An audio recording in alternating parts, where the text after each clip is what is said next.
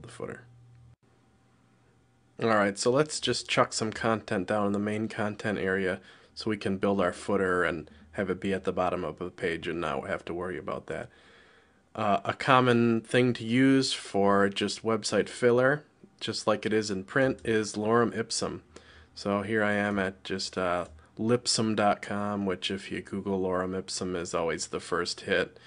Uh, it's okay. It just generates a bunch of this gobbledygook kind of Latin, whatever it is, filler text. So you can just copy and paste off of this website, or there's a number of other, of other generators.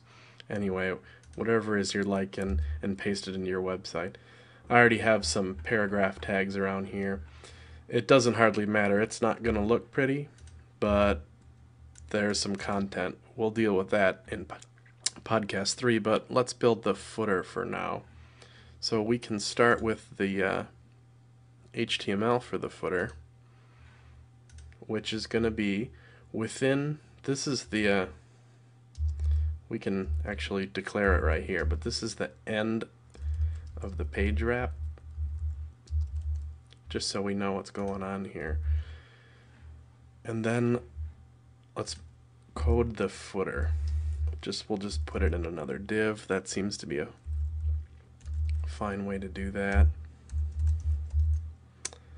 And then let's refer back to our mockup to see what we actually put in that footer. Oh, just some copyright information and it looks like a repeat of the menu. That's pretty common. So we'll just write that stuff in there. Go back to our HTML file. Maybe put it in a paragraph tag. The uh, symbol for copyright is and copy colon so and copy colon 2008 csstricks.com and uh, we'll just leave it at that for now. What the heck. So that's the markup for the footer. But you know we could reload now but it's not gonna it's really not gonna look like anything if I go back to the website because we haven't styled anything. So you'll just there it is down there totally unstyled. But that's the beauty and power of CSS. Let's style it up so it looks like something. We know that we have a div with the style footer. So with the ID of footer rather. We can, if I can find my mouse here, give it a background color uh, I think 56 560,000 is the hex code for the dark red we used in the header. With a dark red like that, let's make the text on it white. Uh, let's give it some padding on top so that that text doesn't just touch the top of our red bar. So maybe just like 10 pix, both top and bottom.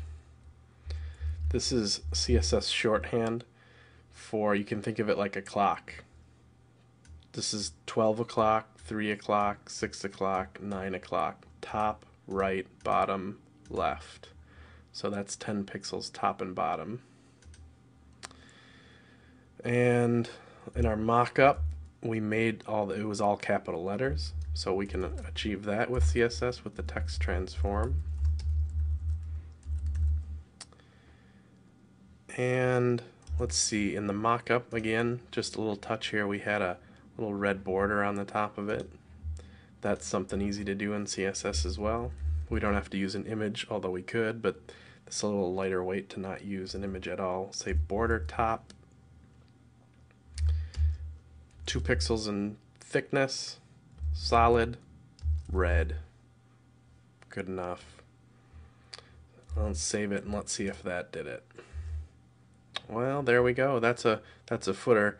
Uh, we might want to center this text in it. That's no big deal. Text align center. That should bring it over to the middle. Looks pretty good. There's a footer. So in podcast three, we'll deal with styling up this main content area, and then we'll have a pretty nice looking website.